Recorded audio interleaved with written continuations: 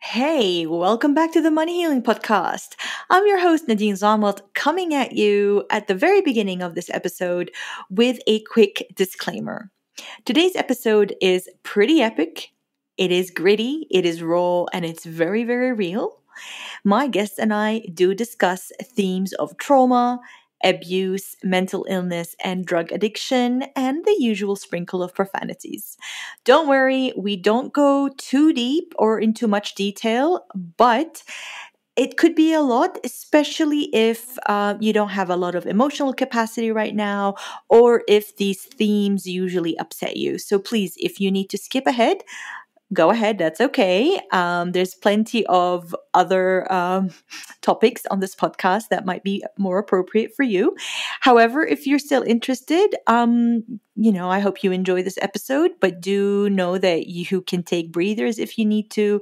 See how your body is feeling as you are going through this episode, pause it, and come back to it later on. So, with all that in mind, I hope you enjoy it.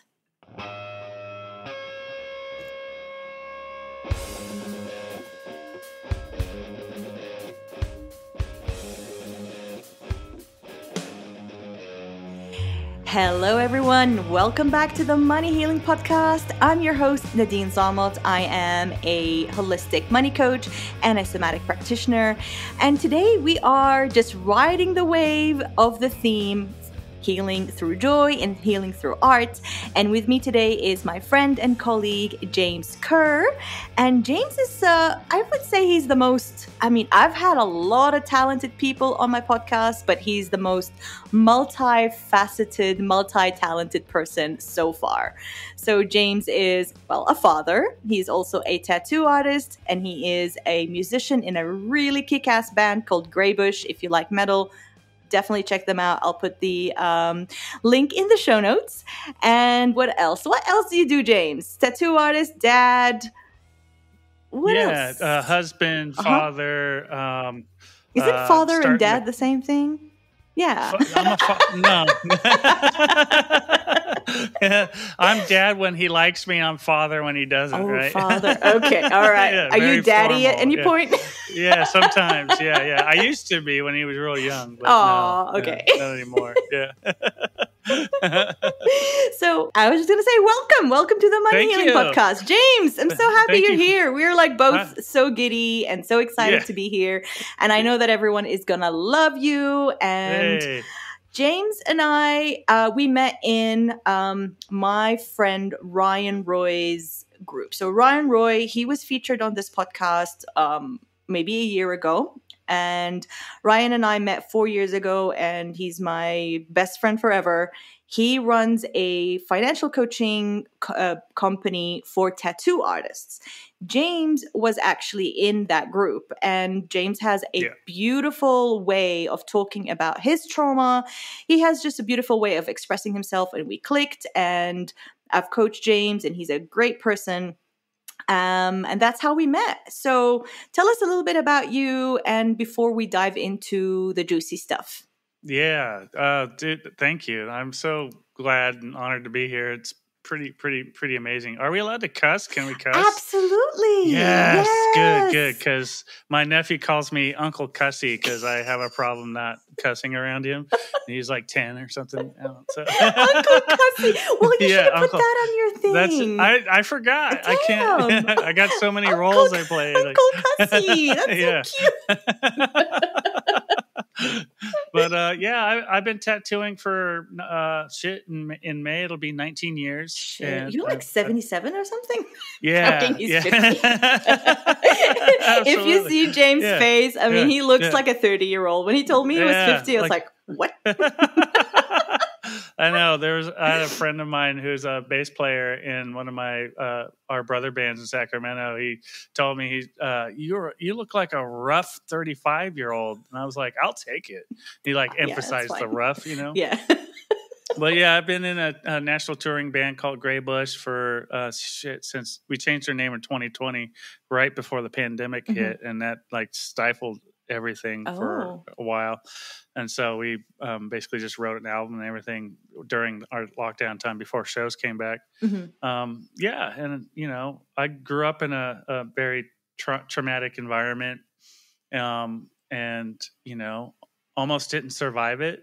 And uh, uh, but I did, and I'm here. You did, and I'm grateful and I, you're here. I'm healing. Yeah, I'm grateful I'm here too. Very much. yeah, and think- we're we're think- healing every day. Absolutely, it's a journey. There's, there's, it's, it's part of my activity, you know, and, and it's, it's growing. You know, it's growth. I think healing and growth can be synonymous in, in this context. You know, Yeah. Yeah, I, I I do have like kind of an outline for our conversation today and one of those things Okay. is kind of like getting your take on very important keywords like we're not going to get into it now, but one of the things is like, what is healing? What is safety? What is authentic Mm. self expression from your perspective? But you know, like I, I do have, I do have an outline because James and I can go on many tangents. yeah, totally. the other thing that we have in common is that both of us were saved by Alice in Chains yes. when we were Oh when we were teenagers. I mean, Alice in Chains. God bless Lane Staley, man. Really, Oh my god. I mean, yeah. without Alice in Chains, I don't know how I would have survived my my Yeah. household. Honestly, Yeah. And there's some way that uh, since we weren't allowed to authentically self-express, that, that Mhm. he was doing the job for us. right? oh my god! You know what I mean? Yeah, yeah. Yeah, I he was, so stifled as you Yeah. know. I I was born in the Middle East and very, very, very strict father and abusive as well. And authentic self expression was out of the question. Like I had, I've always had short hair, but there in the Middle East in the nineties, being a girl with short hair was the biggest no no. And for me, it was the only way for me to express myself and just do something. I wanted short Yeah. hair and even the taxi drivers would be like, "Are you okay? Um, are you sick? It- why is your hair short?" I'm like, "What the fuck, dude? Just You're not a cancer patient, right? It Like was just- it was so bad, and my dad would Yeah. kick me out every time I'd shave my head or like cut my hair short. I would just like account for a few days out of the house because as soon as he sees me, I'll get a beating and then I'll get kicked out. That was, Yeah. you know, me trying to self express, right? right. and I was a teenager. And to hear Lane just belt out his pain in such an incredible voice, and everybody, if you don't know, you really need to check out in Chains with Lane Staley. Sorry, I'm not Yeah. into the new guy. So You know. Lane passed away, and they just replaced him. And I, I Right. can have a whole podcast episode about that. I have a lot to say to Jerry. what are you doing? You were you guys were done. Seriously. Then you weren't. Oh, dude. Uh, Yeah. So, um, tell us. Let's just like uh, segue into everything through our common friend, money. money. Money, our bestie. love it. Love it. Yeah, yeah. So, before you started working with Ryan, so you joined Ryan's group as a tattoo Mm-hmm. artist that wanted to get better at money. Tell us about what your financial situation was like before you joined, and maybe give us a background on what your relationship with money has been like. Uh, that's a good. That's a good. Let me take my watch off. It's distracting. Okay. Um, yeah. Uh, so my relationship with money was. Uh, my situation was okay hmm before I took Ryan's course, but you know, I'm still kind of in what we call pirate mode in the tattoo industry and Uh-huh. in his in his course because a lot of tattooers come like you know the whole industry itself is like uh, traditionally an underground industry. You know, back in my grandfather's day, the only people that got tattooed were were whores and sailors, blah blah blah. You Mhm. know, like that kind of thing. But that that world is gone now and now the tattoo industry in and of itself is it's one of the highest growing industries in the world it's like at 9% a year the, the growth rate Wow. and it's super that's super that's big That's massive. so that means that there's a lot of other tattoo artists in the business now and there, and, and and there's a lot the a lot of people saying you know the uh, tattoo industry is oversaturated with art artists I wouldn't say that, and Ryan changed my mind about that. Mhm. You know, it's it's it's saturated. Sure, there's more people, but that it's not oversaturated. So my my financial situation, um, you know, being in a metal band that's not signed and not making money, there, there was a very uh, big kind of like debt that I was accumulating hmm uh, uh, because of that. You know, trying to fund the band. Like me and my buddy Jake were were the only financial uh, uh, contributors to the, The to the band. We did a lot of Mhm. yeah. We're the band. I'm the band crazy uncle. uh, you know what I mean? So uh, Jake was the band dad. He makes most of the decisions, but he always like talks to me about shit. hmm Um, him and I've been playing music together for like 30 years. So Okay. he's old too. That's why we're called Gray Bush. uh, uh, so my and then tr- you know my whole money mindset wasn't even a thing that I had had any awareness about, except for the way money would make me feel inside. Mm. And money is a very emotional thing, especially when uh, like for me, I grew up on welfare in a very like uh, low economic uh, place. I grew up on a, a Native American reservation here in Northern California called Hoopa, and it's named after the tribe. Um, and I'm not Native myself, but um, so growing up on welfare in that environment, you know, where it's you know, the, you're living uh, with people who are like collectively at a genetic level dealing with uh, generational trauma in a, in a huge way. They're Yeah. you know they had a population of you know tens of thousands of people and now they're only down to like two three thousand people you know so that's Mhm. that's very traumatic for a people as a whole Mhm. and they're trying to hang on to their their heritage and trying to teach their children their heritage and all that kind of stuff so that um and, and also on the on the other side of it for me i was raised religious as well so the money was is the root of all evil Yep.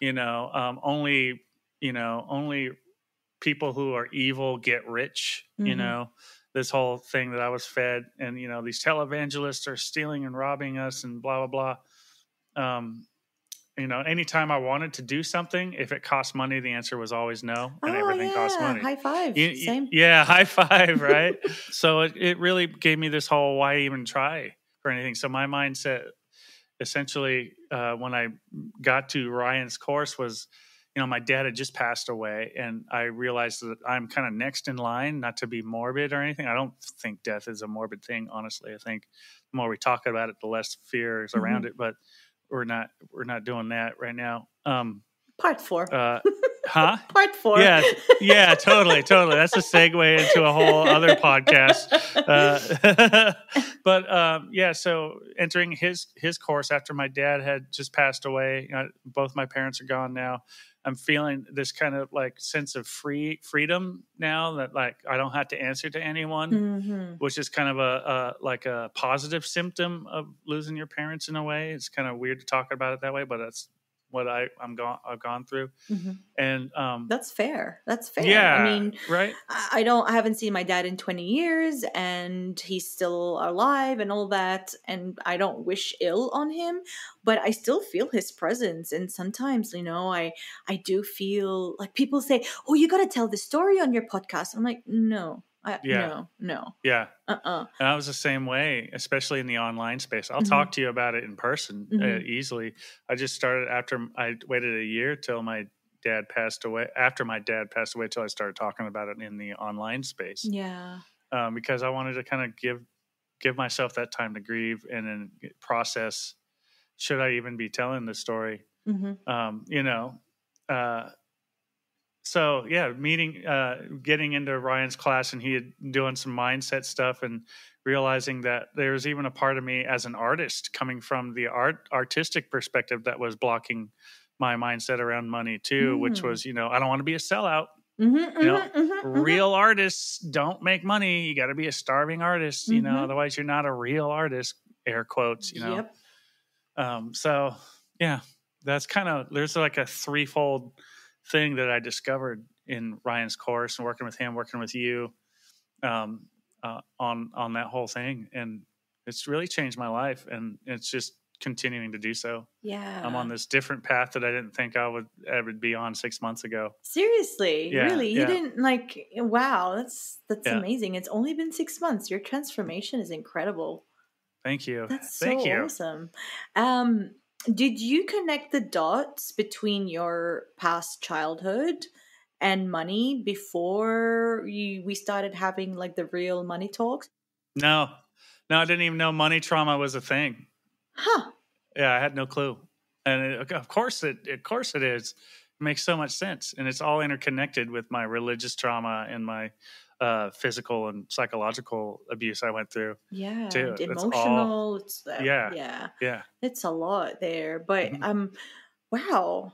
because you're so like in tune with your past like i i i do talk to a lot of people that maybe are avoidant of certain things and that is not like to shame sometimes Right. we need to avoid certain Right. things avoid certain memories avoid certain parts of us as a survival mechanism Right. but you seem to have well integrated certain things am i wrong to say that N- no, I think I I had to do that to emotionally survive. got Like, it tell I- me more Yeah. Um, uh, to be able to, well, I think it goes back to when, you know, uh, the first time my dad put a gun to my head uh, was I was in third grade. Mhm. And I don't, you've, you've seen the video I put on my Instagram about that, like going in, in depth with that story. Uh, and it, you know, so that's when I really, really got the lesson that I am not allowed to authentically express myself or have Otherwise, feelings or have feelings otherwise i would die like that Mhm. was a like it that's basically what it meant anyways like for but that was an extreme like example in my memory of what of what that is and so when i so okay the the the, the physical abuse uh, stopped when i was like 12 13 years old but by that time i had done i had gotten into puberty and i started using methamphetamines around the age of 14 Mhm.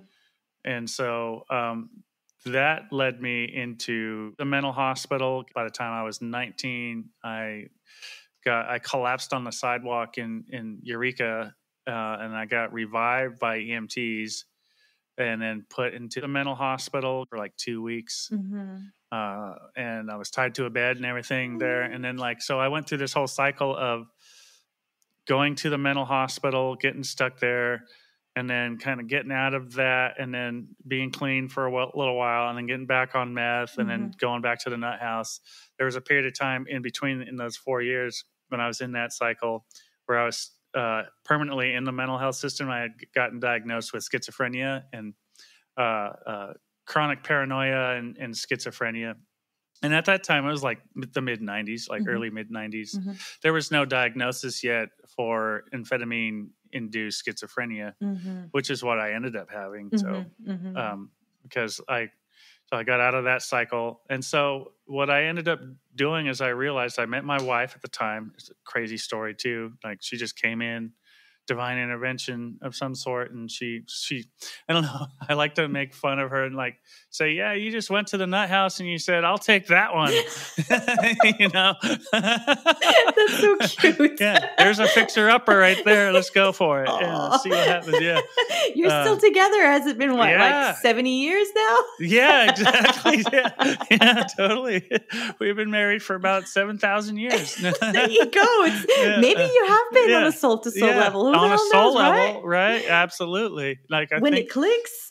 yeah, it clicked immediately, and that's the thing. They let me out on the caveat that I would uh, be moving in with her, and Mm. she was like, "Yeah, okay, yeah, well, we'll take him in." And so I, we were only together for like two months at that time, okay. and we've been together for about twenty eight years now. Twenty, yeah, Oh, married that's a for like beautiful story. 26 i can't i can't keep track i hid from the world Mm-hmm. with her i realized that you know let's i was like let's experiment with not doing meth how about that Hmm. and so the the longer that i stayed off of it the the the quieter the voices and the hallucinations got Mm, to the point where they were gone and then Wow. at, at that point when they when they realized they were gone i got depressed because i felt disconnected from everything so there was this Mhm. sense of connection in that kind of schizophrenic state that Okay. i can't explain but the like connectedness to everything in a way but um uh yeah that was gone too. And so i had to find out i had to figure out a way besides doing art and besides playing my guitar to be able to express myself. And then so that was a challenge at first and then but that's kind of what i ended up how i ended up starting to tell my story mm, because i needed to like reach out to people and make those connections with people and just be really who i am with people around me and uh yeah. I, I, f- I felt like because at that time I was doing some healing with my father too. Like he was finally like, "Thank God you quit doing meth. Here, have it. Have you know? I'd smoke weed with him and stuff too Yeah. because that was that was crazy. The first time I ever smoked weed with him, it was like I was a man now. You know, oh, he finally yeah. accepts me in some way. Okay. You know, Mhm. so there was that that part too. Um, but How yeah, old were you when that when that connection like that you know nicer about- part of connection happened? It started happening around 22, the age 22, Mhm. 23. Yeah. Yeah. So- Did you feel safe you, hanging out with your dad? Not like No, not completely. didn't? There was there was no way I could ever feel completely safe hanging out with him. I- I know what you not mean. possible. I Yeah. have this thing when I hang out with my dad, my whole body feels like it's shivering. Yeah. Do you know and that's that? a survival response, right? Like It that is. dog I- shiver after they get traumatized, right? I didn't connect it, it. right? I haven't Yeah. seen him in, in a long time, but I know like when he could come pick me up from somewhere, I'll, I'll be in close proximity with him or be in the same room with him. My whole body is shivering Yeah. and I'm like cowering and I'm like trying in protective mode. And it made when I started reading more about trauma and started getting like certified and, and, and understanding what was happening, it was such a revelation of like, oh, that's why. You know, like I was in fight or flight the whole time because, like, after hanging out with him for many hours, my muscles of like my calf muscles and my arm muscles and my shoulder muscles get really like sore. And Right. I ask myself, like, what did I do? I wasn't punching, but I was so tense, such in fight or flight mode with him and around him. I'm just banging on my desk. Sorry. Yeah. Ah! That that my my my body was actually reacting the whole time. Yeah. Gosh, the body Yeah. is so freaking smart. It is. I read Yeah. something, I can't remember where, but like trauma survivors remember memories in body sensations or like Oh, something like that. I, I know I'm like botching up the the quote, but I get it though. That's Right? yeah. your yeah, body really remembers these things no matter Wow. what. I, I I used to ask people, does anxiety attacks count as cardio? Like, right? oh man. Yeah, I think if my heart's going doon doon doon doon, that's cardio, You know, right? It's a heart rate, right? yeah. uh, you know, we, we laugh about this stuff, but you know, Yeah. we did not have happy or funny childhoods at all. no, no, no, At all. not at all. Yeah. Nope. So, um, tell us a little bit about how you feel your past has impacted the your authentic self-expression as a multi what do you call like multimedia artist Yeah, yeah, is it multimedia multifaceted suppose Mu- so, multi-dimensional what are what are you uh, I'm a multi-dimensional alien being from Pleiades. Uh, yeah, exactly. The Pleiades star system. cool Uh, I've had, I've had aliens before on my podcast. Yeah. You're not the Oh, first. no, no, good, good. Well, I didn't know that. That Yeah. uh, that's awesome. yeah. Um, I'm a fan of aliens. I'm just saying. Oh, yeah, like same. I, I like the UFO stuff. I like, I like science fiction stuff. Like all of it. I'm, Oh, I'm a big you fan. and Tommy Yeah. will sit Yeah. down and have the best time. He just watches Yeah. this stuff all the time. yeah, and I'll watch it over again too. Like if oh, I, there's nothing else, I'll go back to like, and ancient civilizations and oh Yeah. yeah, I'm all about it. Yeah. I told you all that we needed an outline because we Yeah. would just go on Yeah. tangents. On this episode of Ancient Aliens, like, are we sponsored by? yeah. you need more hair to say that. dude. yeah, I do. I do. That's true. I can grow it. I'll grow it, and I'll get back to you. George yeah. Tsoukalos. yeah. okay. All right. All right. All right. Tell What us. was the question again? I don't know, dude. no, I was talking, I was asking and wondering what you thought um, the impact of unresolved trauma on our authentic self expression Oh. as multifaceted dimensional artists. You- Yeah. You, I'm not that. Yeah. You, yeah. Right, right. Um, well, the, the definitely it not being able to be authentically expressive, like say if I'm crying or if I'm or if I'm angry and I have to like stifle all that. Mhm. That energy like has to go somewhere, and I feel very lucky that I had a creative outlet for that. You know, Mhm. so I, that's my artistic expression has come from it was a survival response. It was it was my original emotional survival response. Oh my God. I love that Yeah. you said that because people are like, why are you so intuitive? I'm like, that was my survival. Like, that Yeah. was how I had to survive. Yep. You know, people always mention, even before I started coaching and all that stuff, my mom would always ask me questions because you have a sixth sense. My friends would Yeah. ask me questions and, you know, all that stuff. And, and later on, when I started working with clients, they're like, how did that develop for you? That was only when I realized that it had to develop because I had to rely on something. Right. Yeah, Right? exactly. Yeah. And I didn't discover music until I was 17.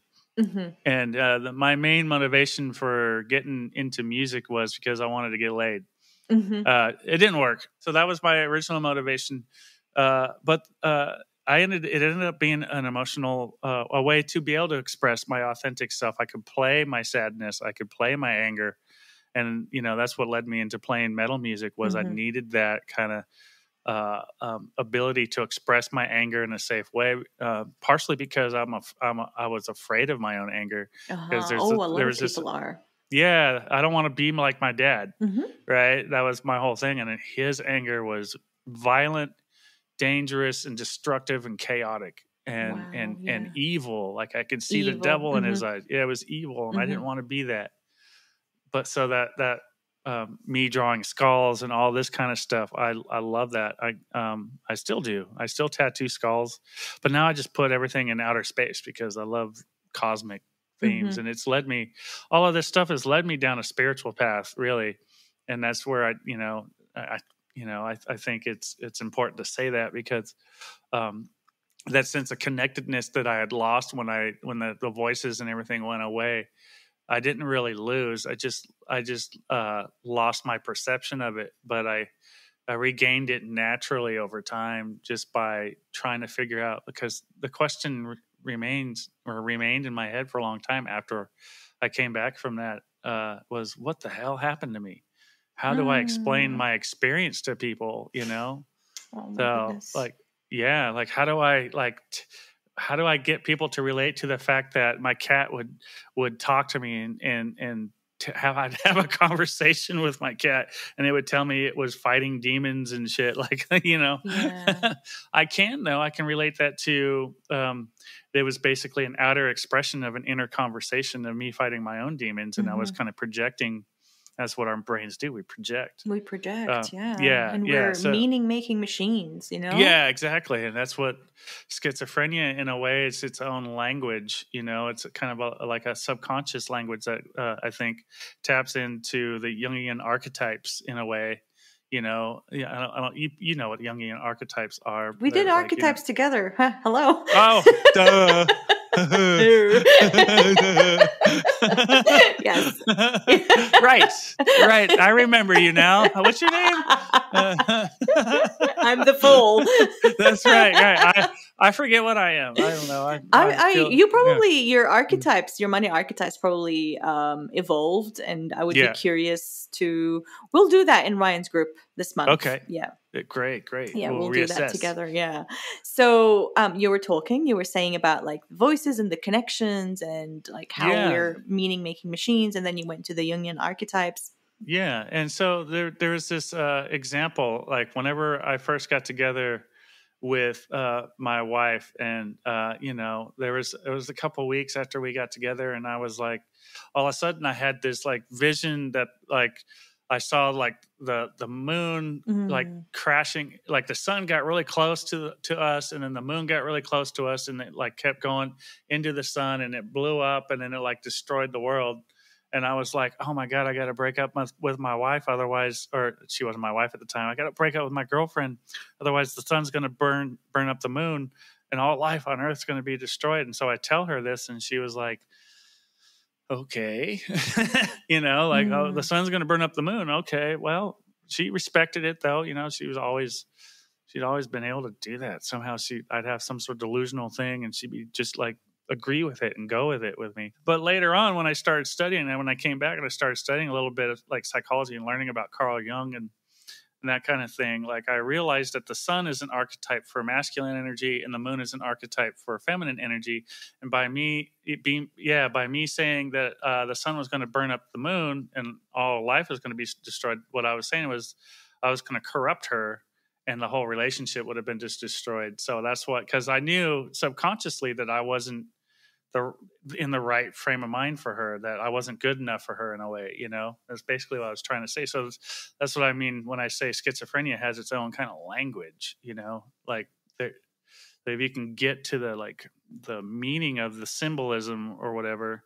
And I think art as far as like getting back to what you are asking about like authenticity and, and self, pure, true self-expression i think symbolism is a great way to do that in a sneaky way to where like you have your own meaning at- attached to these art that you know these objects uh, in your art but other people may not see that. Part of like being able to authentically express myself had to had to do with like symbolism like coming up with my own archetypes in through my art and in in, in a way it's like a yeah like a dream language you know like a code so i could express myself and no one else w- would be able to understand what i was saying you know. That's, that's, incredible and talking about like alchemy right? Yeah, like yeah. alchemizing pain to art or pain to purpose or pain to beauty. Yeah, just this is exactly what you're describing here and it's pretty fucking impressive. I, I love, love that. Yeah yeah thank you thank you i want to uh, circle back to something um, that you mentioned, but I want to kind of take it back a little bit further, like further back, okay. and talk about connection. Like talking yeah. about how important attachment is for for us as as babies, right? As infants, yeah. and what your um what your experience from your maybe personal life or from what you see with others is like the impact of this attachment on our relationship later on and perhaps even our relationship with finances, our relationship with work and and earning. You know, as you said, the starving artist archetype. Yeah, you right. know. So, um, take us back to like the very beginning to Genesis. Okay. Uh, well, first the Earth cooled, and then the dinosaurs came. No. uh, uh, so, so um, hmm, let me let me think for a second. Hmm. Uh, can you reframe that qu- question? Of course, yeah. Yeah. So I want to kind of dig into connection. Connection. Right? The importance of to- connection, especially the connection that we relate to on a nervous system level. The, mm. the, the connection that begins with the attachment style, like the attachment wounding or secure attachment, and how you see that impacting art, money, and earning. Oh yeah, making yeah, money. of course, of course. I I got you. Thank you. Um, yeah, so the attachment thing is, uh, as you know, I'm a fan of uh, Dr. Gabor Mate, and he really outlined um, mm-hmm. How our attachments are are basically life or death, especially when we're we're babies, right? And still, even to this day, that, that's how we subconsciously our nervous systems are wired for attachment, and we need that because it is life or death for us, you know.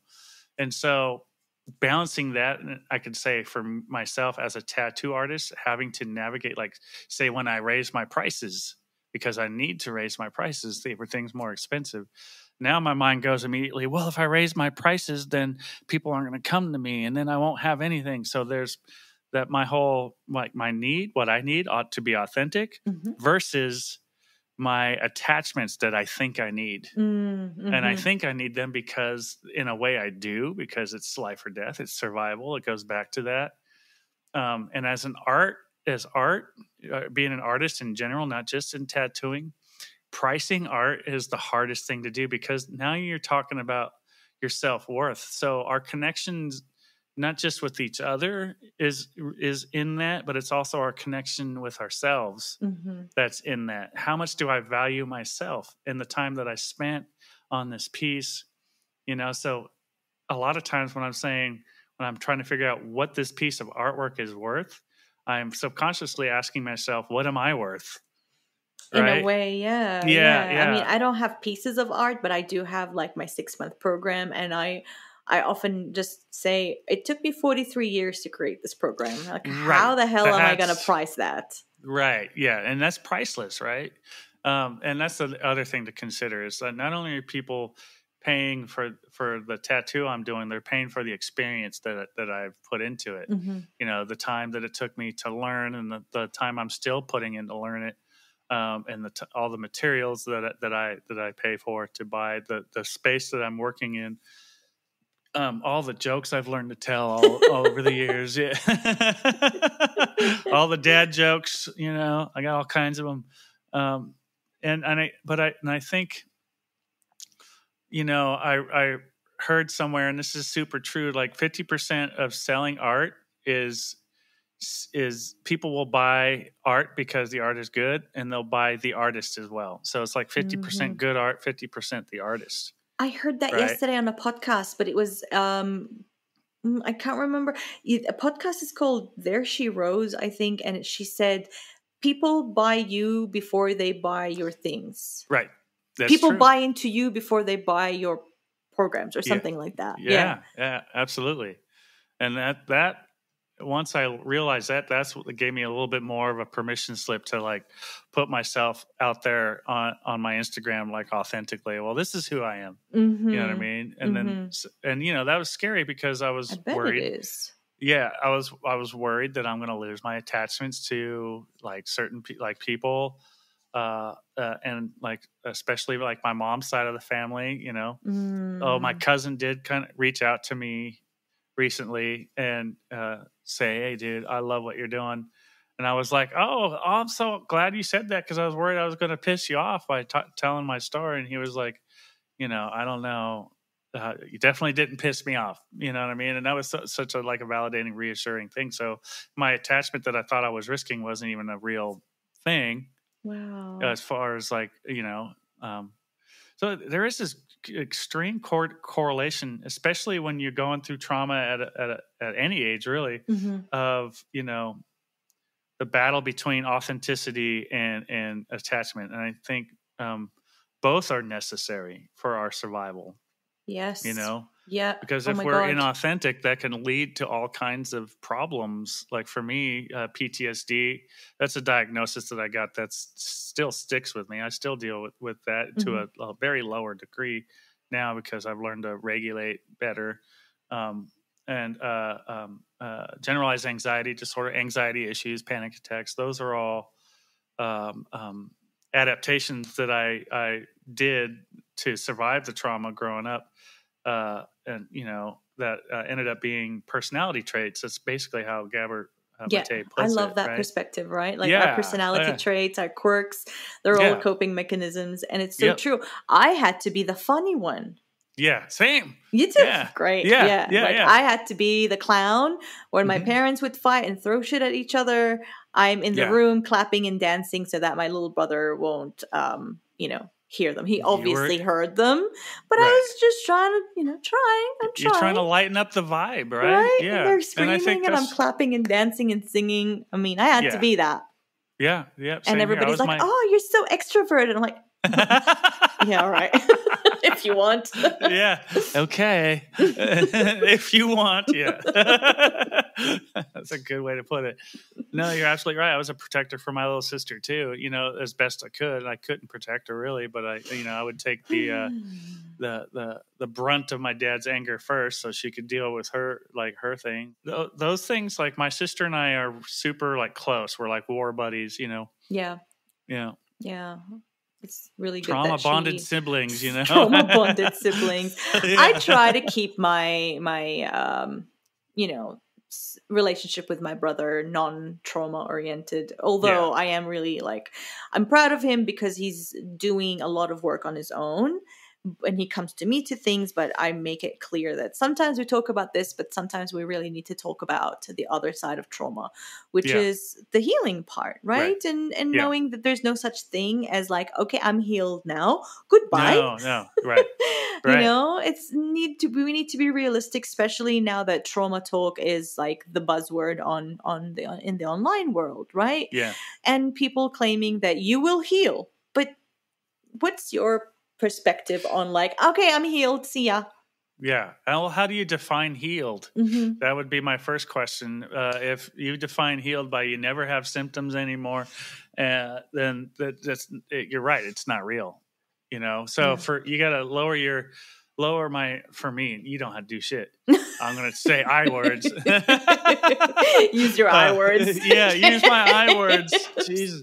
Uh, uh, I, I I have to um, uh, think of it that that healing is not a, a destination; it's a process eh, of evolution. You Mhm. know, like Mm-hmm. for example, when I was doing martial arts, I was a martial arts teacher for about six years, and my teacher, uh, in that he's the one that owned the dojo. Uh, he, when my mom died, this is this is this is pretty epic. I had a harder time dealing with my mom's death than I did with my dad, Mm. um, for obvious reasons. My Mhm. mom didn't beat the shit out of me. Why do we laugh? We're so bad. That's not funny.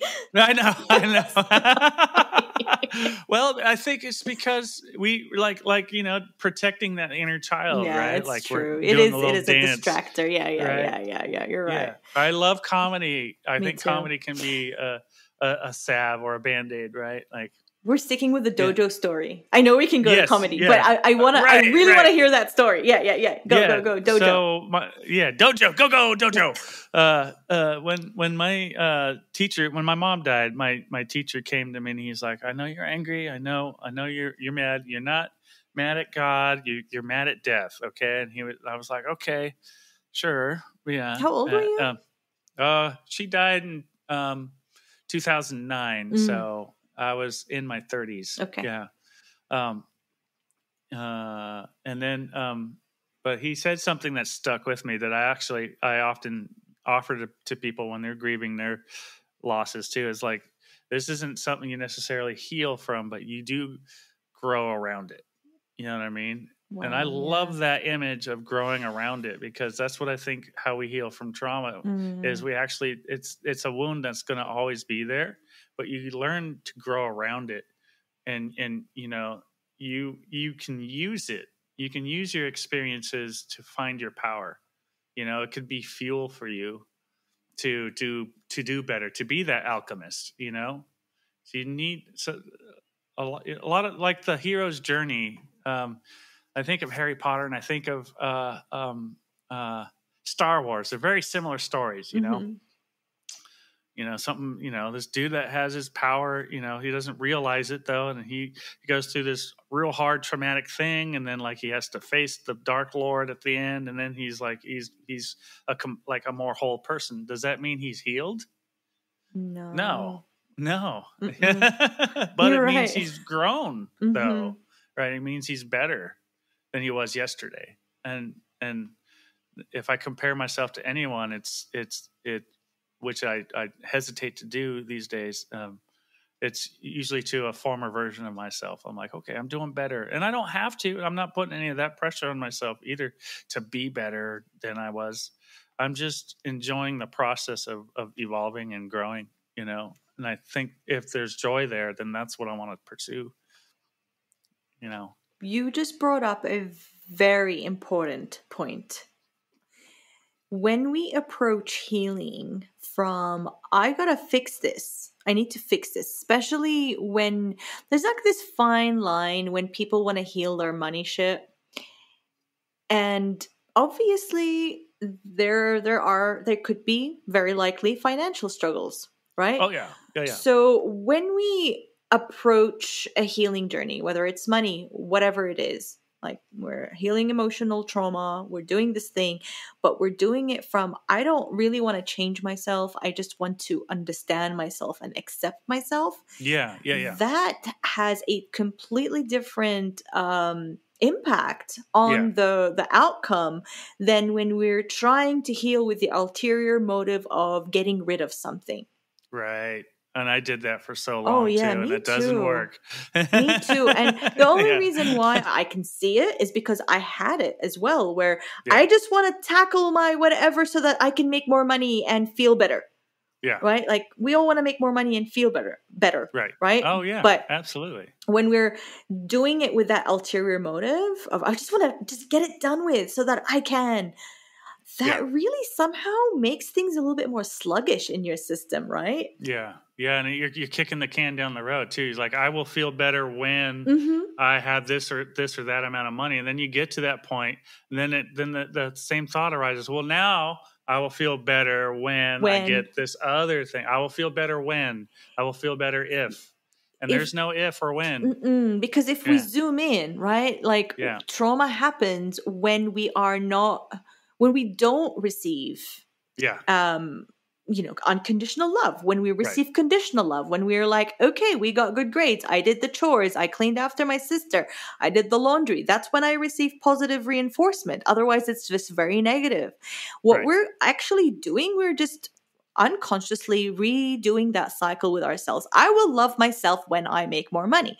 I will love myself when I Ah. na na na na na na. Right? Ah, yeah, no, no, no, no, you're right. That Mhm. is that just connected some dots for me. That's great. Yeah, because you can't turn that on yourself. The goal of loving yourself can be the thing you kick down the road. exactly. If Yeah. I am this way, then I will be worthy. Of and my then- love, yeah. Yeah, yeah. oh, man, right? It's it's uh yeah. it's like a dog chasing his tail. yeah, yeah, yeah, Pretty much. We're not getting anywhere, but we need to break that cycle. And sometimes we can't see that cycle in ourselves. See, I just pointed that out for you. And I hope for our listeners as well, maybe uh, we, we did the same. We just broke a cycle in in, in Yeah. somebody's like merry-go-round, right? Yeah, I Like, hope so. Yeah.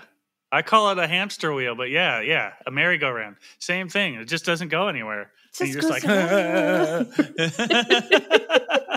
I'm doing it right. I'm doing it. I might Yeah. add the video of this because your Yeah, expressions yeah. are hilarious.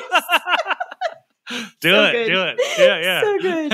Um, I also want to. I think. All right, I'm gonna just go a little bit on a tangent and ask Okay. you. It's a little bit like out there, but what is your perspective on life purpose? Life purpose. Uh, you know, I, I asked myself that question a lot over the years, and I was raised Mhm. religious, and then uh, got into aliens and all that kind of stuff, as we kind of touched on a little bit. Um, Just a little. and I think ultimately, like, and I used to, you know, I used to hate the idea that life is meaningless and all this stuff, you know. Um, but you know, I think, and and I can go into a big tangent with this. Uh, Do um, actually go. Okay. Yeah. Yeah. So I believe that we aren't um, human beings ultimately. I think we're conscious awareness and then we're all one. Mhm. And I and I think that um and I'm going to use three-dimensional words, which is all I got to explain uh, multi-dimensional concepts, I guess. Um, but I I think that our purpose is to experience life and to and by by these life experiences we carve uh, our souls in into who they're meant to be over the span of eternity. And we keep doing this over and over again and we live all these lifetimes. I'll tell you a dream i had. Mhm. I, okay here's a dream i had. Um my one when my mom shortly after my mom died uh she came to me in a dream and she said come on i'm going to show you where i am now. And immediately i was like in my dream i was like i knew i had to leave my body to do it and i was like anxiety in my dream popped up and i was like i can't mom i can't. No no no no no. And she was like oh, okay. And then she left and then i woke up and i was like i, I missed out on my opportunity to to go see where my mom mom is. And so a few weeks went by maybe a month after that and then um, i was camping with my family and then in the middle of the night I just knew I was like taken out of my body, and I'm going to classify it as a dream because I don't have any other words for it. Maybe a vision, a spiritual experience. Mhm. A spiritual experience is a good way to put it, Yeah. but uh, it was in a form of a dream. And so I was taken out of my body, and I was super scared because I knew I was out of my body. I was taken up into the into the sky or the cosmos, and then I I met this dude. This, there's this dude next to me, and I looked at him, and I'm like, "Are you an angel or are you an alien?" And he was like, "This isn't about." Who I am. This is about who you are. And immediately, as soon as he said that, this all the fear left me, and this peace just washed over me. Like you hear near death experiencers talking about this peace and this unconditional love they feel Wow. from this entity. You know, so I Yeah. felt that. And then he pointed me over to this table where the, there was a book on the table. He's like, "Look at that book over there." And I walk over to it and I start like I opened it and I start thumbing through the pages. And he's like, "Each page there is a lifetime that you've lived." And he's like, "Why are you so worried about death? You're like this, like you've lived all of these lives. Why are you worried about death?" And he pointed me, to, and granted, mind you, I can I could see like all the way around me, like 360 degrees. Like it wasn't like my you know 120 degree vision that I have now or whatever it is, like normal human vision, but I could see 360 degrees around me and I was hovering, I was floating over this forested area and he was like look at that over there and i could see a sunset you know? And he's like a sunset is nothing more but a sunrise somewhere else you know? And then uh, it was it was amazing i don't know he was he didn't i wasn't allowed to like remember any of the lifetimes i had lived like i in my memory they're all Fair just enough. blank pages you Mhm. know what i mean? Right? But and then like i came back and i woke up and i was back in the campground and i was like holy shit it was dark i could hear the crickets I still remember it to this day. Oh and like I walked around with this sense of peace for like three weeks afterwards. And when I tell this story, uh, that's that I uh, that peace comes back. And so I think our purpose here is um, to to evolve. I mean, if we look at li- what life does on a physical level, that's what it's doing. Life as a whole is evolving. Mhm. And so on a soul level, I think it mirrors that, you know, that we are we and it may seem paradoxical, but I think that's where truth really lies is the fact that we are individuals and we are one thing at, at the same time, you know? And so we get to ha- we're we're basically uh the universe having an experience of being James Kerr or being Nadine, you know, at the same time, you know. Um and at the same time we get to put our own meaning on and our own purpose on top of it too and now there may be you know something that we pre-planned before we're born that Mhm. happens you know Mhm. uh, well i need to experience this i need to experience child abuse i need to experience like being poor i need to experience like drug abuse you know, all of this thing all these things that maybe i signed up for it you know people say i didn't sign up for this well maybe Yeah, Maybe not. I Yeah. mean, there's a lot of spiritual teachings that say we choose the path that we are, you know, that we're on in, in this lifetime because everything has is adding to Yeah. the whole experience. It's adding Yeah. to our soul's growth. And there's um there's a, a book that I really like that I highly recommend to you, James, and um, oh, to many people out there. It's written in the 80s, but it's so good. It's called Bringers of the Dawn ooh, by Barbara. I believe her name is Barbara Barbara Marciniak, and it is a um, it's a channeled book from the Oh, yeah. Pleiades, and okay it's pretty epic because. I don't know, like some parts of it, I'm like, how is this legal? like, this is just so wow. Yeah. It's really out there. But Yeah. one of the things that they talk about is like when our soul comes, it kind of experiences what it's like to be a human.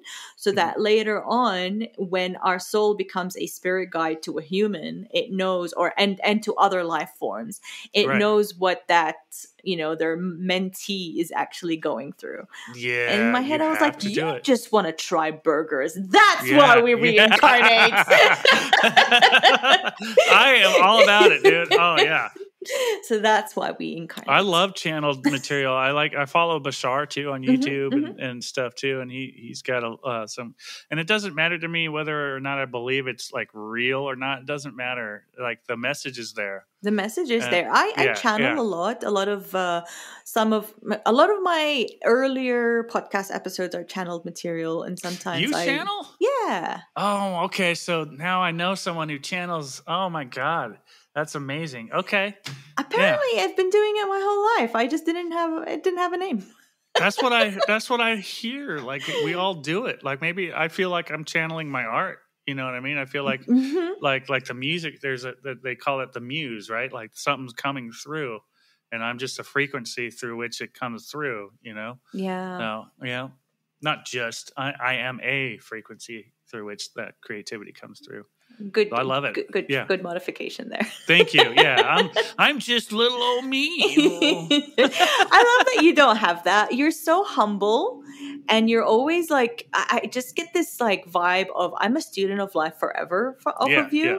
And I. I don't know anything and I know like eh, you're not a know-it-all, but you're not like you're very wise, but you never Thank you. assume that you know things. No, I think I I I don't know what I don't know, and I know Mhm. that. You know. yeah, he doesn't know what he doesn't know, and he knows that. Why not, right? um, so I'm gra- I'm glad I listened to my intuition and went into the life purpose stuff because yeah. it is definitely something that I think about a lot. And for Same. me personally, um, I still wonder what that was, but I definitely had some kind of guidance. I remember I was in the thick of it in my bedroom as a child and I was like, what's the way out because I can't I can't do this anymore. It's just too much for me. And I would look at the window and at the time because we were living on the um, you know, at the lower floor, we had the um you know the security kind of like iron kind of thing and it's Yeah. just like i can't escape that, that there but Right. it's not what i want i don't know what to do and i remember feeling this is okay because you are going to be helping people that are now going through the same thing later on this has a purpose That wa- I had a similar sense growing You up. Yeah. too? Yep. Yep. hmm and i often wonder i i don't know was was this a coping like it definitely helped me survive like that was sometimes the only reason why i would keep going. But i wonder whether it's like my body saying it's okay you're gonna be fine like there's a reason or was this like this knowing and i don't think it matters in the end now that i'm no. saying it out loud i think what matters is that i survived and i am alchemizing my pain Right. into something that serves others but i don't want to like i really want to put like an asterisk here and say that sometimes as people who are going through a healing journey we might default into overgiving and when we talk about life purpose we might fall into this notion of like oh i gotta serve yeah. Right. but what happens is that we become depleted. right. If we're doing that all the time, we deplete ourselves and then we expect our life purpose, our clients, our art, money, whatever it is, to fill that void right. because we're depleted, because we're overgiving. And one of the things I believe is that we really need to take care of ourselves before we take care of others. And that is not selfish. Right. I don't think so. I I think uh, uh, even in the Christian tradition, like uh, uh, like growing up, I re- I thought about this earlier today. Like when Jesus would tell his disciples take, or I don't forget who he was talking to. Someone was judging someone else, right? basically, and uh, as usual. but he's like, take the sty out of your own, your own eye before, or take the log out of your eye before you go trying to take the sty out of this guy's eye. You know, and a- similar metaphor would be, you know, when you're on an airplane and the emer- your an emergency happens, what do you ask to do? Put the oxygen mask on yourself first, First, before you go and help your your your kid or your you know what whoever's next to you, right? Like that yeah. you otherwise if you can't if you're not helping yourself then you go through and i've been through it myself f- compassion fatigue and then you're just out of resources and i've had to tell my clients that before like look man i can't because i do have i've been one of those people that help people un, untrained as i was uh, through their traumatic stuff as a tattoo artist we're a lot like bartenders and therapists sometimes you know? Hairdressers, yep. hairdressers yeah um so uh you know i just this guy was pouring laying it on me you know and i was not my nervous system was not prepared because i was already on high alert from all this other shit i was dealing with. And um so i had to just tell him and i'm i'm you know proud of myself for being like putting up a boundary and sticking to it with him that like look man i'm all out of compassion bro. I have so much shit i'm dealing with. Wow. i i can't deal with your stuff right now man. And he respected it and was like thanks for telling me you know and that was like typically i would have an anxiety attack about like just even being authentic in that way to do Yeah. to protect my boundaries but and i was so exhausted that i didn't give a shit. Sometimes exhaustion is good for that. Like i'm too tired to care. Go get fucked dude. Oh man. Um i wanted to to to like just zoom into what you just said. Yeah. What would you tell the the if someone is listening to this um and they're they do recognize that they have that um, starving artist kind of money mentality and they do struggle with like putting a boundary with a client. And let's just say that that's you know a past version of you. What would you Yeah. tell that past version of you or to whoever is perhaps wondering what to do about this Oh, what do you do about that? Well, you know, something I learned in one of my other courses I took before Ryan's course, a great uh, line that he told me. Uh, um, he said, uh, "Compassion is great, but compassion overextended can be harmful." mm-hmm. You know, so so you have, and I've told my kid this too. Like, you need to be able to turn that compassion inward towards yourself as well. Like the same amount of like care and worry that you have for someone else you could just scratch the worry altogether but i'm gonna you know that like if i'm conceding to the, the to the brain of the person that i'm i'm talking to i'll acknowledge the worry and then you know turn that towards yourself as well. Like you you are more important or should be more important at least as important Mm-hmm. as the people you're worried about you know? And and one of the things that i realized too like say i'm like if i'm going to price a, a piece of art and i want to price it more than i usually do like i want to raise my tattoo prices. One of the things i have to remember is that uh, how people react to it you know? Like people actually don't ever react negatively to any of it. Mm-hmm. they don't. Like the only thing the only negative reactions from other people i get when it comes to me raising my prices is in my own head. It's never a thing. It's never been a thing right? Yeah. and it doesn't matter how low you lowball yourself in your prices someone out there is going to complain about it i remember how you know it doesn't matter like if like i'm a hundred an hour you know this was in 2005 up to about a year ago and i hadn't raised my prices since 2005 when i started in this business.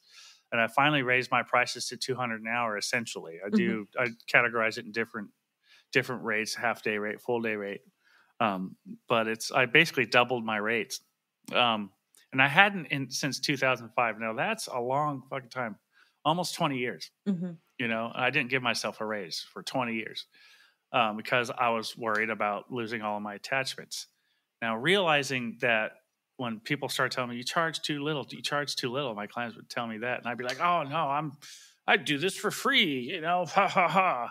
Uh, and, and now i'm 50 years old or i will be in may may may 12th, 12th. by the way. Yeah. Uh, yeah uh, um, I have to think about retiring. How how the hell am I going to retire? Traditionally, in the tattoo industry, uh, uh, you don't retire until you die. That's the whole mindset. But I've already blown my lower back's disc out three times in the same spot. So the more likely scenario, and for most people, this is why retirement exists. The most likely scenario, what's going to happen is you won't be able to work, but you'll still be alive. So what do you do? We don't get a retirement plan in our in our in our industry. Mm-mm. So you have to do that yourself. And that's what uh, ultimately I think led me to Ryan's course is I knew I need to figure out a retirement plan. And I already kind of worked on some mindset stuff in uh, the TBM course that I took before that. And so you you just kind of think of your prices as your name. So if you tell someone your name and they go, that's not your name, I'd rather your name be Joe. That doesn't make any fucking sense, right?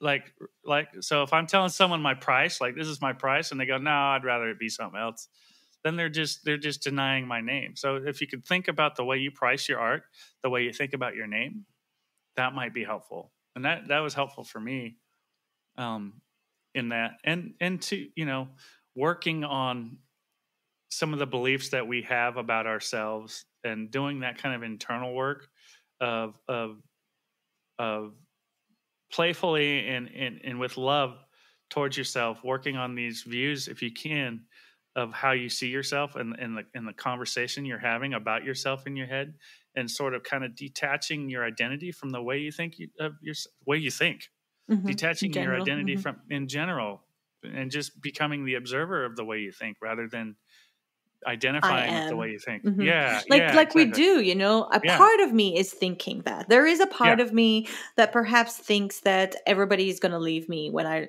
raise my prices that kind of like just compartmentalizes that part and you look at it with compassion as opposed to ah, you know, I do that. Oh my god, I'm such an idiot. Why does this person?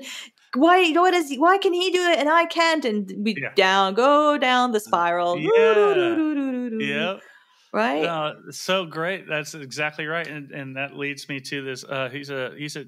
Uh, I guess he doesn't like being called a spiritual teacher. I forget his name right now off the top of my head, but he, like, if that part of me that is scared, I already know who that part of me is. He's the third grade version of myself, right? Mhm. If he came up to me and he would be like, "Hey, man." Uh, I I I'm really scared. I, I want to raise my prices, and I don't know if I should because I don't want to lose my friends. I wouldn't be like, ah, get out of here, kid. You know what I mean? You're bothering me. Go away. You know, I would be like, no, come here, buddy, and I'd give, I'd become the space for that. So be, that's where that I think that somatic kind of stuff you do is so important for people to learn about. You know, of just embracing those parts of you and giving them that loving space to and just feel them and allow them, like you said, you taught me to give that part of you expression Mhm. right Mhm. and so all of that has to deal with with how we heal our money trauma you know all of that like all uh, that trauma in general like because there's no real separation between your personal life and your business life or your no, job or no, no, no, not no, really. no. No we you know so if you could deal with yourself on your on a personal level and learn to love all those parts that you are even the parts you don't like Yeah. you know get to know them uh, understand get curious about them the parts that you don't like. Like for example for me the anxiety. I was like well what is anxiety trying to do? I started getting curious started asking the question what is anxiety trying to do for me? And the first answer i came up with was well it's trying to keep me alive and then i was like oh yeah it is trying so it's a friend of mine Mhm. it's just an overactive hyperactive friend of mine that i need to like turn towards rather than run away from Mhm. you know and and and embrace and say you know it's okay thank you for being being my danger radar that's the part i named my Danger anxious radar. self Yeah. danger radar yeah yeah um, i'm like thank you um, you, uh, i love you and thank you and um, i don't really need you right now i know i'm safe you know we're safe too right you know and then like i would hear no no we're not safe not safe you know uh, but I, I would just sit with that you know. Mm. and now it's like okay it's just kind of waiting in the corner in case it's needed now you know what i mean like the Mhm. so like when i'm driving down the road and i see an oncoming car i don't get a panic attack now that you know there's gonna i'm gonna get in an oncoming collision now the thought that i'm gonna get in an oncoming coming collision still happens but the uh, emotional reaction attached to that thought no longer triggers Got know? it. Yeah, that part Yeah. is no longer driving. yeah I yeah mean, exactly it's a pun now, but like for yeah, real. totally totally it's true Yeah. Um, I love in um, there's a book called No Bad Parts by Richard Oh, Schwartz. i've heard of that i'm writing Dude, that, that, book too. is Okay. so good. I've read All that right. book four times and it since July. I love that book so much. And he talks about parts, right? And yeah the he is the founder i think the developer i would say of internal family systems which is essentially parts work even i do believe that parts work has been you know in our in our in humanity for generations Yeah. right but anyway so he talks about how every part once it unburdens it reverts to its um you know original role so for me, for example, and you, you know, the older older sibling syndrome that we Yeah. joke about sometimes, you know, as older siblings, we are wired to take care of people. Right. So that is in money archetypes, we call that the martyr archetype Oh, yeah. right? So when so the martyr archetype's role is pretty much to make sure that everybody is okay. Everybody's okay. And that can mean we are not okay, but as long as everybody's okay, everything's okay. Right. Right? So it's that overgiving, overextending part. And the problem with that when it comes to finances is we're, you know, overspending our money on other people. And also it's very difficult for us to receive. So what Yeah. that means is that in our nervous system, it is ingrained in our nervous system. The way it's shaped is that it's very hard. It's it it feels dangerous for us to prioritize ourselves.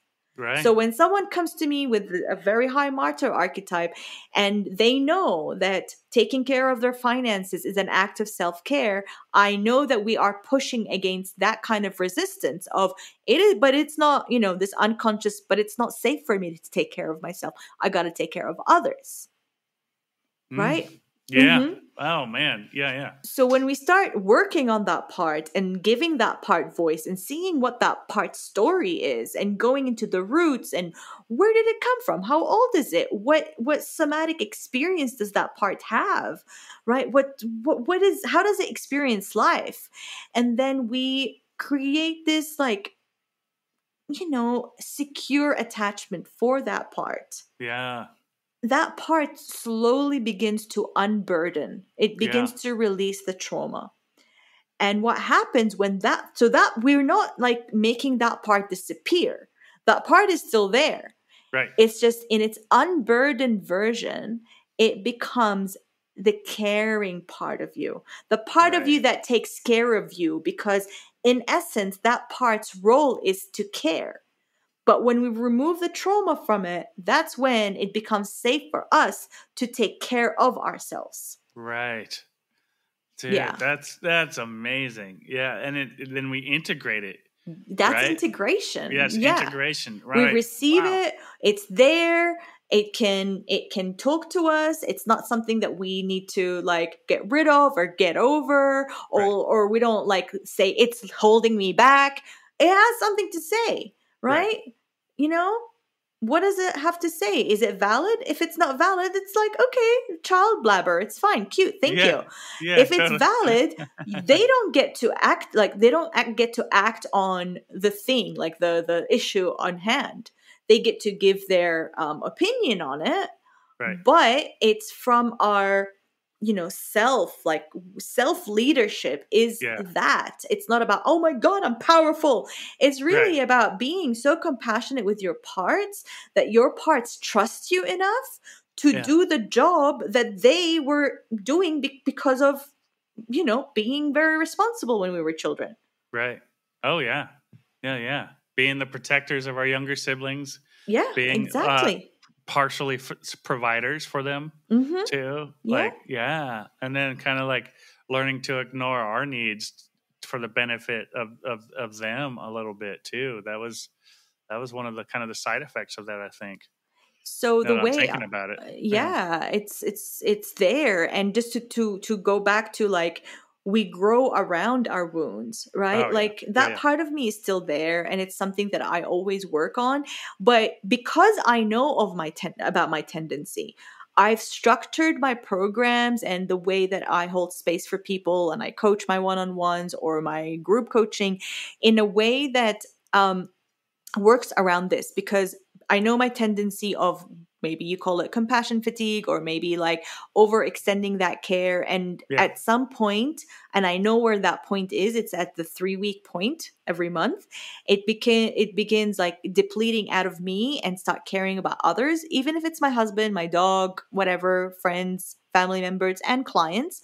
So now I have this boundary with myself of like I work for 3 weeks and then I take care of myself for 1 week this That's way awesome. yeah and i'm really grateful i get to do that i'm grateful that i have that self-awareness and the ability to include that into my like my my life but during that week i nurture myself so that then i can give from the overflow this way i'm not expecting my clients to feed me emotionally and spiritually right Right. Exactly. because No, that's, not their job No, that's your job. Yeah. exactly that's my job we're yeah, we're yeah, all responsible for that yeah. right That's a good metaphor. I love that because then like self care can be related to like, you know, your mother used to feed you when you were a baby. And then as soon as you learn how to hold a spoon, you got to do that shit yourself.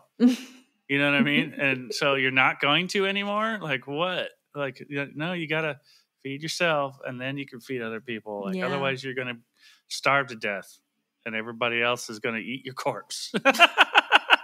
that was kind of. that was funny. I love yeah, it. Yeah. um, so I want to talk about safety. What is Oh, yeah. your definition of visceral safety on a nervous system level. What does That's it feel great- like to you? Um, it feels warm. Mm. If safety feels warm, it feels expansive, like like a field of myself or my awareness that is like that stretches beyond my physical. Mm-hmm. Like, and it's just warm and it's peaceful. Mm-hmm. It's like the warm sun hitting my skin when I when I've been cold, and it's just like ah, like a lizard on a hot rock, you know. And that's that's that's what I think of when I think of the safety. I love that. Um, yeah, it's connection to to everything. It's that that um, I'm well fed, I am hydrated, I'm content, and I'm fulfilled. Yeah. and what is the emotional like signature of safety for you? The emotional signature. What's an emotion word?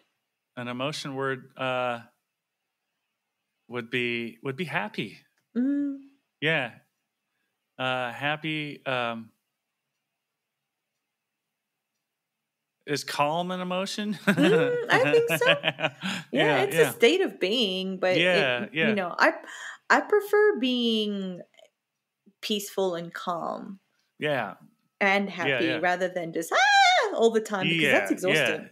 Yeah. Happy and like we were talking the other day about joy. Joy is not Mhm. sustainable, right? Right, Mhm. like it's like too frantic of a like a like ah like Christmas, like kids Yeah. on Christmas. Oh my god, Yeah. uh, you know, yeah, that can become like excitement and for my nervous system, excitement and anxiety are kind of the same thing, right? yeah, So- same. Yeah. It doesn't understand. It's like, hey, it's yeah, a good thing. yeah. It's a good thing. It's good. It's yeah, good. It's good. totally, totally. No, we're okay. We're okay. You want this to happen. Uh, I do. Oh, good. Uh, uh, yeah. yeah. I love that we're joking about this because we both have like a complete protocol to to deal with this, but we're Yeah. like just laughing at it. it's, it's, man, you know, I, I, again, I love comedy for that kind of gives that buffer to like, Mhm. to like be able to explore and express kind of authentically, but in like a joking way. There's that. That's another thing. I think that's another art form that does the Definitely, same thing. Kind of yeah. back on that, but yeah. But uh, back to safety. Yeah, safety feels warm, like a lizard on a hot rock. Yeah. I love that so and, much. and, yeah, calm, peaceful. yeah. And I think happy is a synonym for me uh, of peace and and calm. So that's when I'm, you know, I'm generally a happy guy. I think now. Yeah, you Yeah. are. You Yeah. are. You're a you're, you have a very um happy, you know, energy to you. Yeah. Damn it. Am I happy? Am I a happy person? Do I Yeah, you are. Yeah, Yeah, yeah. No, you come across as uh, very happy, very, very loving, and genuinely caring person. I am. I am yeah. genuinely caring. Yeah. Oh, thank Nice. you so I- much. Yeah, I'll, I Hey, receive that. cheers. Cheers. Yeah. Huh. there you go. Cheers, everyone. Mhm. You're, are you Mhm. still all here? Yeah, is everyone still here? Yeah, wake up. We're- nah, I, I feel I feel like everybody's enjoying this as well. yeah.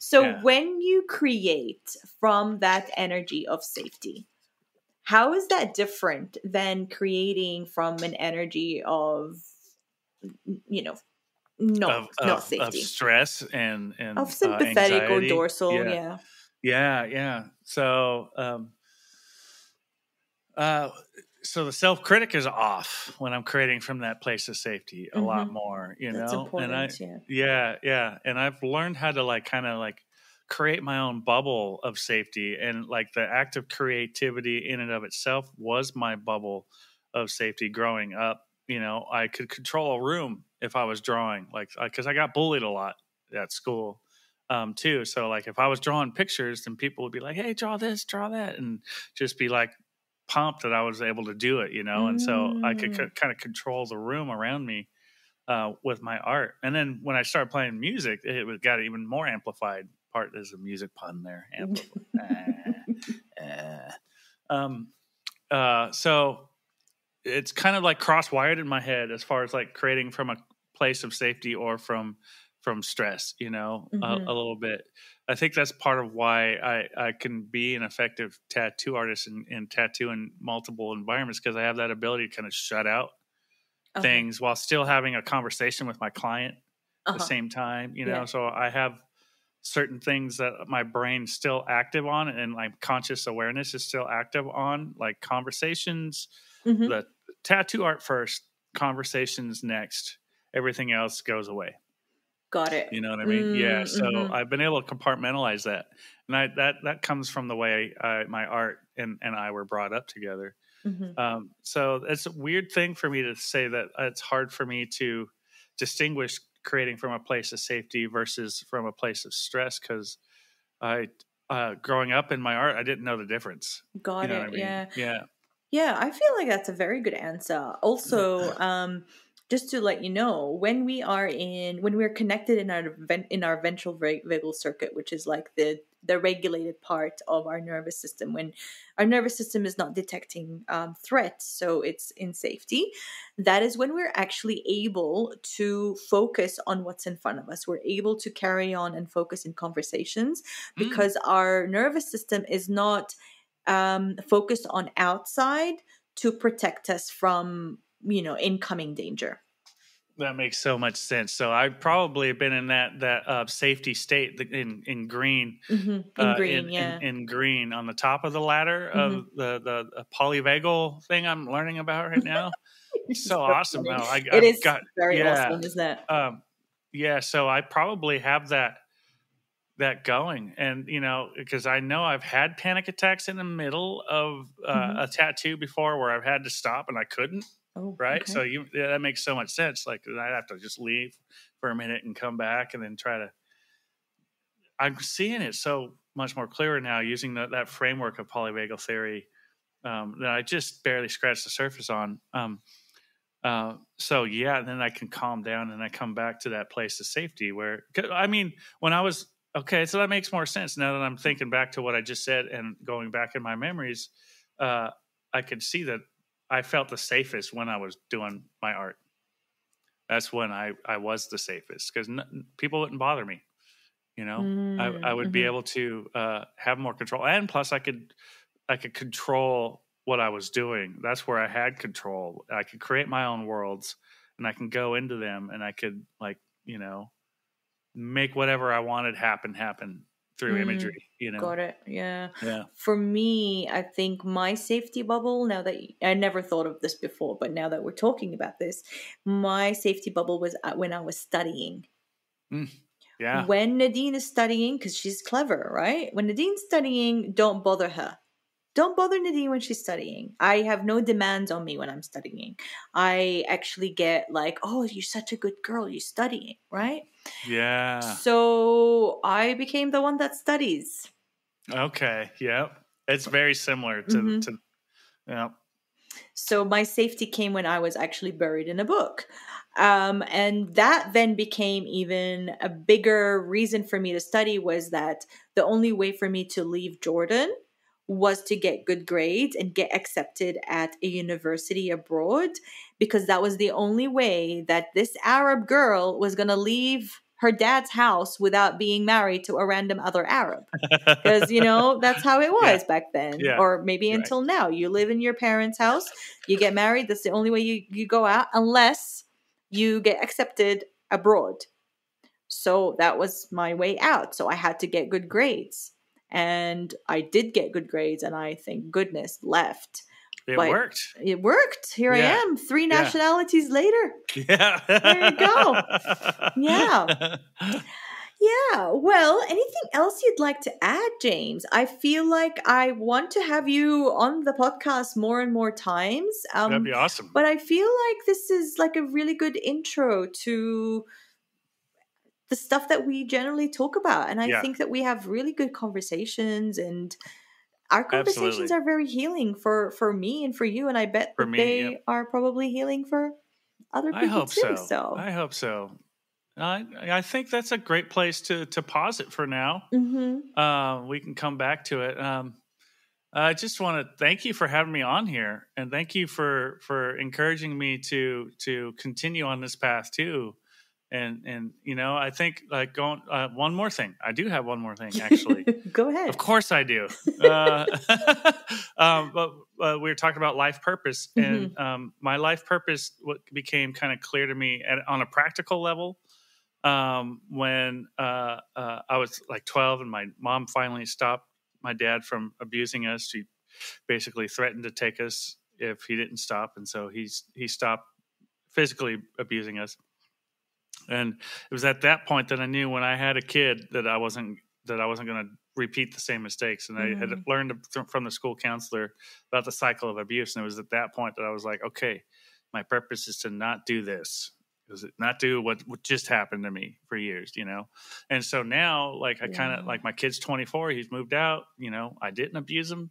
You know, did I yell at him more than I should have at certain points, a few points in his life? Yes. And I'm, you know, that could be something we talk about too how like i had to like really edit myself and luckily i had a Mhm. wife who knew better and so i uh, defaulted to her wisdom because my impulse when he would piss me off would be just to punch him in the face and i knew that wasn't right you know but there was some instinct there You didn't or know, some- James. You Yeah, I didn't. know. my body didn't know Your body didn't know, and you weren't ever modeled good parenting. How would you know? Right exactly um, but i logically conceptually knew Mhm. that that that wasn't cool um, knowing that just Yeah. broke that cycle of Yeah. generational. You know, right that's And so- admirable. now my purpose is it's still a continuation of that same purpose you know um, it is to start a new cycle of of thriving for my for the next generations you know and that's what i'm that's my purpose now and that's why i'm here and doing this so yeah I'm speechless. This is so beautiful. hey Oh, stop it, Jane. I'm gonna cry. That's so sweet. yeah I love yeah, I love hearing that. I yeah. I feel like we wish that our dads came to that conclusion at some point. Yeah. point. Yeah, I, I absolutely, you know, and he, my dad couldn't. He he he was the the first one that pushed the first domino by stopping this the the physical abuse, and then he started working on himself, but he can only get so Yeah, far. I know. He yeah. never reached out for help, and never, you know, so he never got. He probably would have been diagnosed with a few things if he had, uh, you know, Yeah. the, the ability to ex- receive. He never he never developed that Mm. ability, so.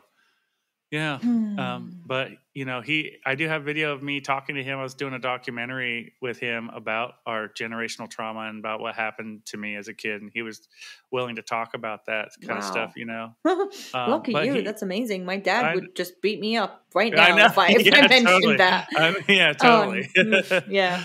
I am lucky, and I do count that as one of the reasons why I, I have been able to come as far as I have.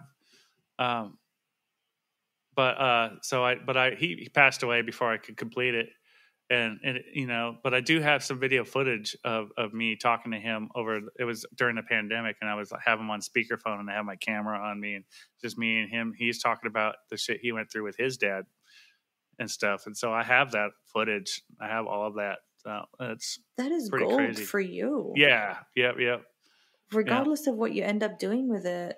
yeah. Even if I don't do anything with it, I, that I is something you yeah. can play for for like parts of you even Yeah. or like replay in your in Yeah. your mind that is just a gift yeah, that's a gift i was watching a movie a couple of days ago called the glass castle oh, amazing movie. I'm writing that down. uh, you write that down. Woody Har- harrelson he's amazing Oh, in it. oh yeah, yeah. gosh. And he, it's a it's about a man that didn't like he loved his his kids but he was an alcoholic. And it was like it kept going on and on and on. It's a very good movie based on a real story.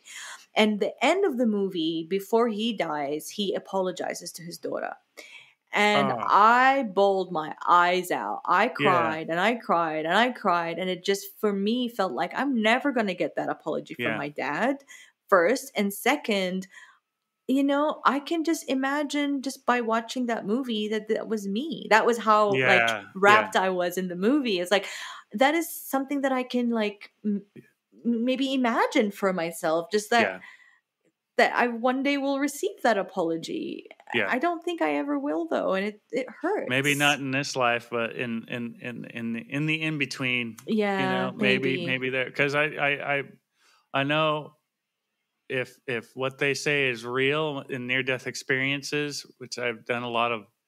I had to be the hospice nurse for my mom, basically, Oh, kind wow. of to in, to a certain degree. But I know, um, uh, my dad, if if if a, how do I say this to be kind of universal about it?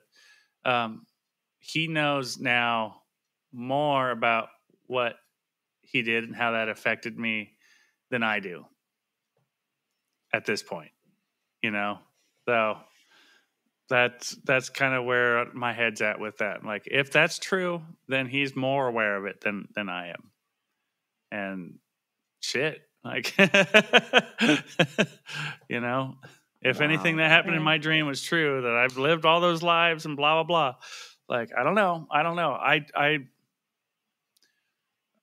I appreciate the uh, language up to a point, but it kind of fails when it comes to describing like spiritual things, you know, things that are Mhm. beyond our spectrum of being Yeah. able to experience or understand uh, and categorize. So, yeah. Yeah, I'm I'm the same way, but um, I feel like we all we all felt it. It's more of a felt sense. That's the thing. That's the feeling. That's where the ex- that that's the the language there is the feeling.